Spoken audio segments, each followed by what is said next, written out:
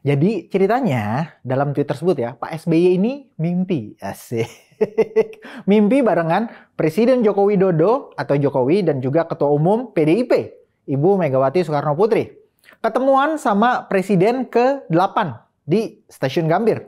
Lalu dalam mimpinya ini disebutkan Presiden ke-8 itu ngebeliin tiket kereta api untuk ketiga tokoh tersebut ke Jawa Tengah dan ke Jawa Timur. Bagaimana? Nah mungkin ya ini uh, tweet mimpi dari SBY ini saking SBY mungkin pengen ngeliat Ganjar jadi presiden. Sampai dibawa tidur dan akhirnya jadi mimpi ketemu Ganjar sebagai presiden ke-8 di stasiun Gambir.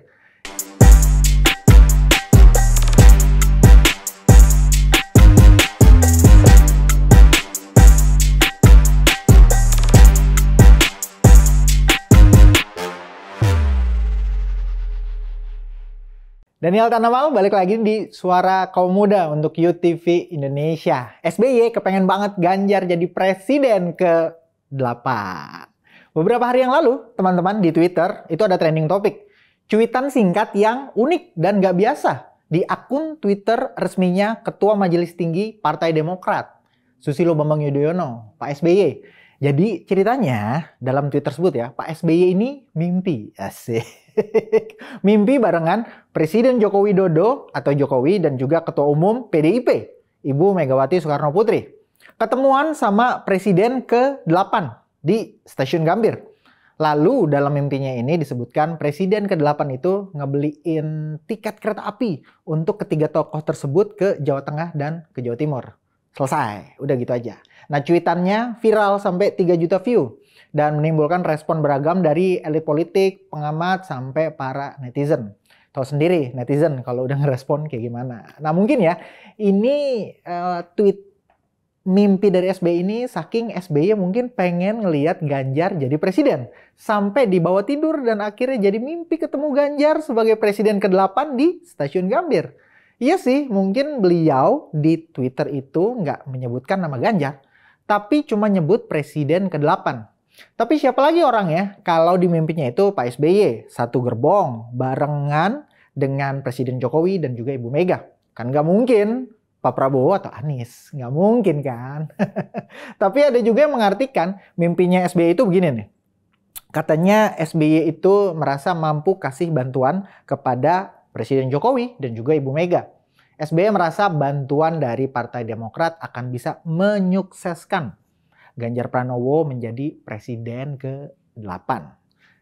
Ini menarik. Menurut pengamat politik dari UIN Syarif Hidayatullah, Pak Adi Prayitno, yang juga merupakan direktur dari Parameter Politik Indonesia, cuitan dari SBY ini sangat mungkin merupakan sinyal politik yang menunjukkan ketertarikan SBY melalui Demokrat untuk memberikan dukungan pada Pak Ganjar. Bisa dimaknai ini agenda pribadi SBY untuk islah politik itu istilahnya antara Mega dan SBY. Dilanjutkan juga dengan rekonsiliasi politik antara PDIP dan juga Demokrat melalui mediasi dari Jokowi. Meski keinginan ini dinilai nggak mudah, punya tantangan politik yang cukup berat, namun mimpi ini layak diapresiasi. Makna terdalamnya tentu mimpi besar SBY soal keinginan duet ini mungkin ya keinginannya Ganjar dan AHY. berat, berat. Apalagi cuitan ini muncul hanya sehari setelah pertemuan elit PDIP dan Demokrat. Puan Maharani dan AHY yang ketemu di Jakarta ya. Itu berjalan mulus dan juga lancar. Kembali Pak Adi Prayitno sebagai pengamat politik menilai cuitan SBY ini berarti Pak SBY sebagai kingmaker, dia mencondongkan dirinya kepada Ganjar Pranowo untuk pemilu 2024 nanti. Yaitu tadi, udah disebutin. SBY kan mimpinya satu gerbong barengan Jokowi dan Mega. Meskipun Jokowi turun di Solo, Pak SBY balik ke Pacitan dan juga Megawati lanjut ke Blitar. Tapi tetap aja ketiga tokoh itu berada di gerbong yang sama. Ini menjadi pesan politik tingkat tinggi yang dikirimkan ke PDIP ya Megawati dan juga Jokowi mengenai islah politik di 2024 sekaligus dukungan kepada Pak Ganjar Pranowo. Sekali lagi, tanda yang terbaca dari mimpi SBY itu adalah memang hanya ke Ganjar, bukan ke bakal calon presiden yang lain. Berkaca pada fakta ini, saat ini memang Demokrat dan juga PDIP berada dalam poros yang berbeda untuk Pilpres 2024. Demokrat di poros yang masih mendukung Anies Baswedan dan PDIP yang konsisten di dalam poros Ganjar Presiden RI 2024. Melalui cuitan mimpi SBY yang berisi sinyal mendukung Ganjar ini, Anies bersama poros koalisinya harus hati-hati. Karena SBY udah kasih sinyal kuat, fix, siap banting setir mendukung Ganjar.